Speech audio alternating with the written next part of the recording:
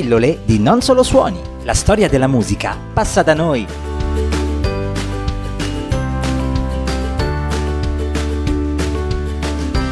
Primavera è la stagione della rinascita, della ripartenza e questa voglia di aria nuova evidentemente non esclude il mondo musicale, anzi in questa puntata speciale vorremmo proporvi qualche novità per concludere poi con un super classico rivisto. Iniziamo allora dal primo artista internazionale che ha annunciato l'uscita di un nuovo lavoro, ora disponibile fin dalla fine del 2021. Si tratta di Michael Bublé, superstar, vincitore di molteplici Grammy Awards, che ha ha realizzato Ayer il suo undicesimo album in studio con uscita il 25 marzo, anticipato dal singolo I'll Never Not Love You on air dal 28 di gennaio. Il disco arriva a tre anni di distanza da An Evening with Michael Bublé Tour, ossia il tour mondiale durato due anni, sempre tutto sold out e dopo il grande successo del decimo anniversario del suo album Christmas. Tra gli elementi di spicco del nuovo disco ci sono un duetto con Willie Nelson sul suo brano Crazy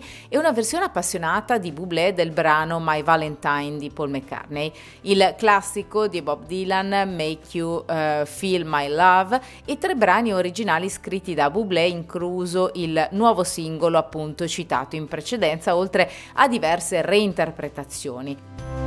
E invece un remix, quello di Anastasia, che ha deciso di festeggiare il 22 anniversario dell'uscita del brano I'm Hot Love con una speciale versione in collaborazione con Carsten e eh, Nicolas Aelg. Era il 2000, infatti, quando la regina dello Sprock aveva pubblicato I'm Hot Love, dando inizio a quella carriera che dopo due decenni l'avrebbe ancora vista tra le voci più riconoscibili e amate a livello mondiale. Poco fa la cantante, classe 1968, ha dunque distribuito la versione remix del brano, entusiasmando immediatamente il pubblico. Nel frattempo, Anastasia ha annunciato anche la tournée I'm Hot Lockdown Tour, che a settembre la porterà anche in Italia, con ben 5 tappe e tra queste eh, quelle nelle città di Milano, Roma, Catania, Firenze e Bassano del Grappa.